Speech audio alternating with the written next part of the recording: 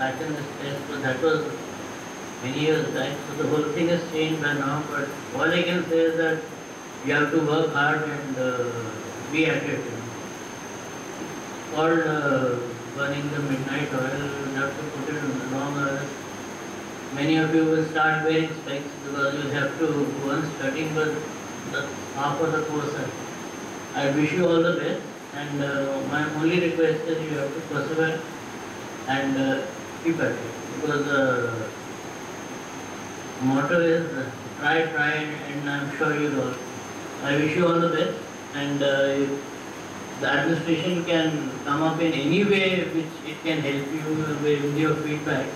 We'll be highly encouraged. Feel free to get in touch with the DC. The institute will also guide you and the administration, if you need anything, just let us know. We are all there. Once again, wish you all the best and well in that. Thank you.